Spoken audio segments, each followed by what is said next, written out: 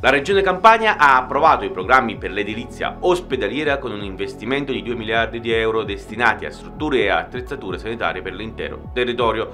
Dopo l'annuncio del presidente De Luca è stata espressa soddisfazione da Tommaso Pellegrino, capogruppo di Italia Viva in Consiglio regionale. Un impegno finanziario così significativo, ha dichiarato Pellegrino, che è stato fortemente voluto dal presidente De Luca e condiviso dall'intero Consiglio. Era atteso da anni e rappresenta un passo fondamentale per migliorare il sistema sanitario della nostra regione.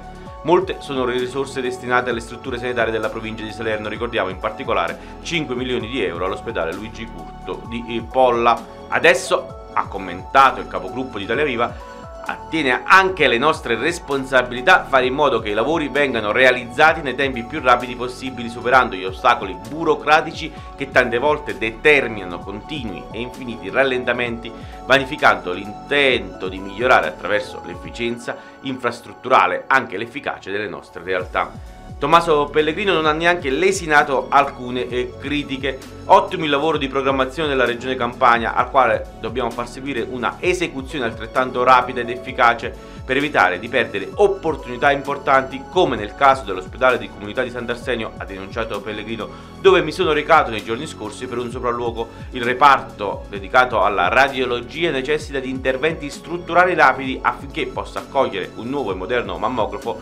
con tomosintesi che rappresenterà un importante e particolarmente utile servizio per il territorio del distretto sanitario 72 Vallo di Diano.